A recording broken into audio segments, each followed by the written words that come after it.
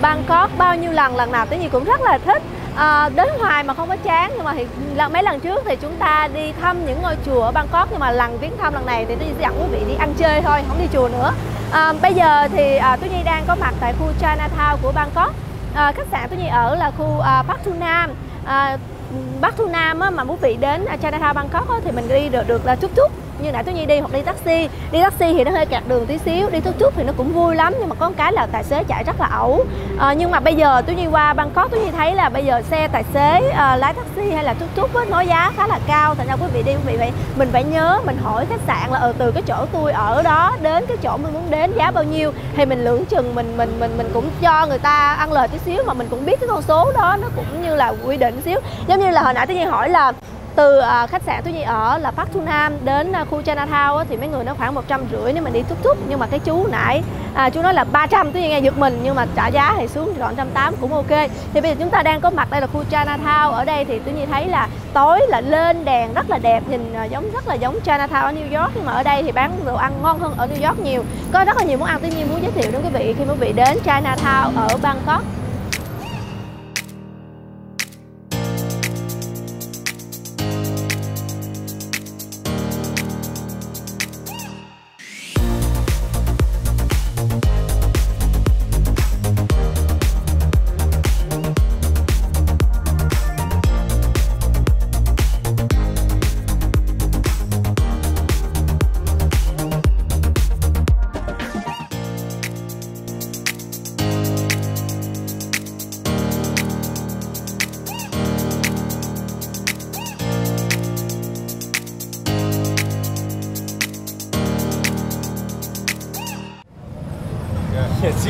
Hồi nãy nói quý vị là đến Chinatown Bangkok và giới thiệu để quý vị một cái món bánh. Mà quý vị thấy là người ta xếp hàng phải nói là rất rất là đông. Mà cái tiệm bánh thì có tí tẹo như thế này à.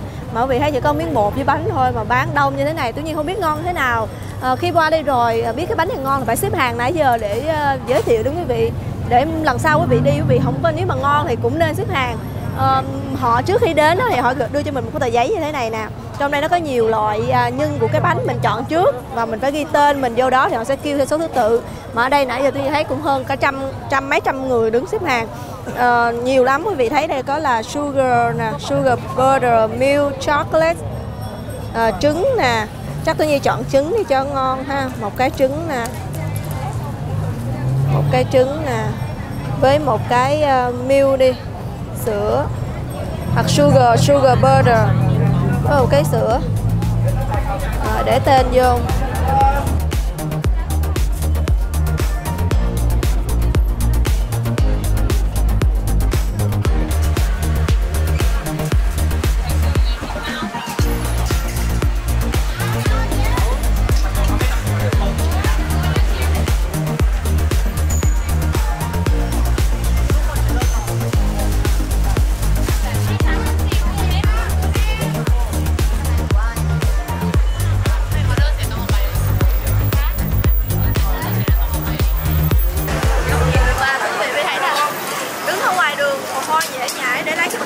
Bánh này. Trời hơi đau, không biết ăn có ngon hay không Mà mọi người đứng đợi. Lúc nào thì thấy là sáng đêm luôn. Hết Tết người này đi lại có tới người khác đến. Một cái bánh như thế này có giá là hai chục bát. Tôi thấy là như bánh mì thường của mình thôi mà nó kẹp trứng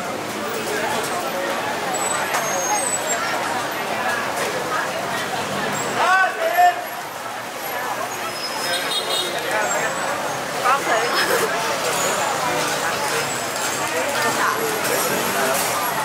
đối với cái gì á yếu đối với cái gì á à, nó là ngon nó giống như là chứ mà mình ăn ba bánh bánh bao cũng bao cái dép thì nó bánh bao đó học theo công thức này không bằng nhưng mà cái công thức này ăn rất là ngon mới đầu tiên nói là trời thì có cái bánh mì chắc nhân vô thôi chắc mấy cái kem vô thôi mà tại sao mọi người lại đến đây mà đợi lâu như thế? Trong đó cũng có mình mình muốn tuy nhiên muốn giới thiệu quý vị. Thật tình là công sức mình đợi không uổng à, ờ, này tuy nhiên nó hay khẩu vị tuy nhiên là tôi thấy rất là ngon. Thành ra nếu mà muốn đến đây phải đến sớm và lấy cái vé tiền vào để đó và người ta gửi tên của mình. Người ta sau khi ăn cái bánh à, mà phải nói là kết lai rất là đông mới có thì rất là khác nước. Tôi như thấy ở Thái thì nhiều nước trái cây tươi lắm. À, mỗi cái có giá khác nhau cỡ ờ, 25 bát đến 50 bát. Mà tôi như thích uống nước lựu ở Thái tôi như không biết là à, ở đây họ có bỏ đường hay không mà lần nào qua là uống nước lựu rất là thích ngọt ngon lắm. À, đi dưới trời nóng như thế này không cần biết bỏ đường hay không mà uống được một miếng nước lựu ngọt là rất là thoải mái. Um, tuy pomeri dạ. yeah.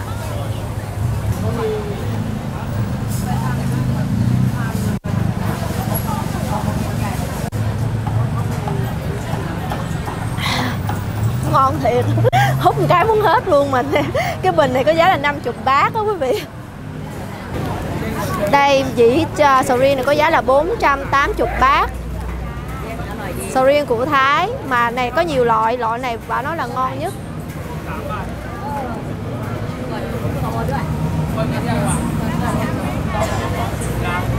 Ngon thiệt. Không phải là Thái đặc trưng à, cái này nó có nhiều cái loại khác nhau loại này mắc tiền nhất. Nên nó có bị đắng ngon lắm. Chứ nếu mà mình ăn ngọt không thì không ngon. Ngon ngon. Ngon. Ngon lắm. Ừ, ngọt ngay à. Món gì cũng ngon hết. Kỳ này đi thái về là phải lên cân dữ lắm. Nhưng mà phải nói là sầu riêng rất ngon rất rất ngon. Không à, nếu quý vị muốn ăn sầu riêng ngon thì phải đến cái đường này. À, đường này là đường à, Turin Yowachas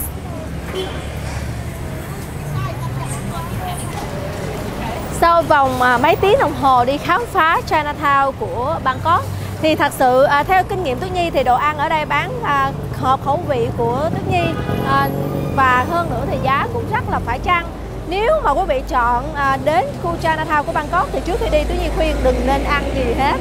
Không nên ăn gì hết tại vì đến đây nhiều món ăn lắm mình phải nói là mình ăn đã luôn. À, sầu riêng như nãy tôi giới thiệu thì có nhiều quầy bán lắm. Nãy tôi nhi mua đó là 480 bát có chỗ bán 300 bát nhưng mà tùy theo mỗi cái loại à, đầu tiên nó có nhiều loại khác nhau. À, còn à, ngoài ra thì cái bánh này nãy tôi giới thiệu đến quý vị thì rất là ngon ở đây nhưng mà nếu mình được xếp hàng lâu như thế tôi nghĩ là cái bánh loại bánh đó chỉ à, bán được ở những cái thành phố như ở Bangkok mà thôi. À, và quý vị thấy là về đêm càng về đêm thì khu Chinatown của Bangkok càng náo nhiệt hơn. Vì thế nếu mà quý gia đình hoặc là quý vị đã đi Bangkok và quý uh, có ý định muốn đến Chinatown thì hãy đến giấc khoảng 7 giờ tối là vừa 6 7 giờ tối là vừa. Tại nếu mà mình đi mà giấc 4 5 giờ thì kẹt xe dữ lắm. Mình đến đây uh, ngồi trên taxi uh, vừa tốn tiền nữa tại vì taxi đây chạy theo uh, meter. Nên kẹt xe họ vẫn tính tiền chúng ta như thường à, đến theo cái giấc mà như tôi nói 7 giờ là không kẹt xe mà vừa đến cái giờ nhộn nhịp của Chinatown luôn. À, cảm ơn quý vị theo dõi chương trình. Và qua ngày hôm sau tôi sẽ dẫn quý vị đến một cái nơi khác cũng khu ăn chơi ở Bangkok. Không phải Chinatown nhưng mà cũng không kém phần thú vị.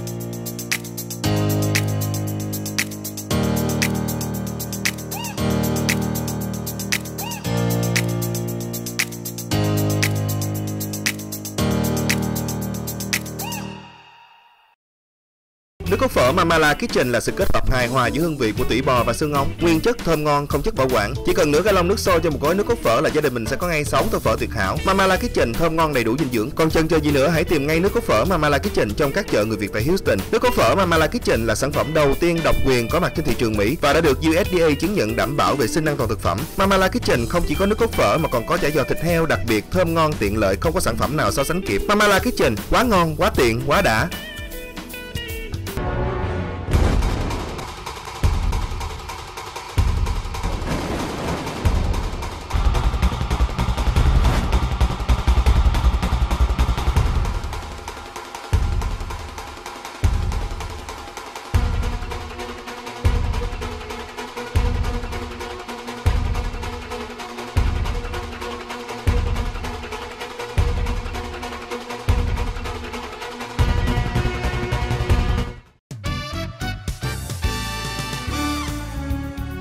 Hàng Kim Châu Jeweler 1 và 2 đang có chương trình Inventory Sale hết tất cả những mặt hàng trong tiệm từ những bộ trang sức ngọc trai, đá quý, ruby, sapphire, cẩm thạch đến những sợi dây chuyền vàng, bông tai, vòng nhẫn, đồng hồ Pion, Rolex, Cartier.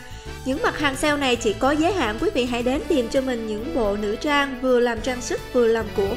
Tiệm vàng Kim Châu Jeweler 1 và 2 trân trọng kính mời.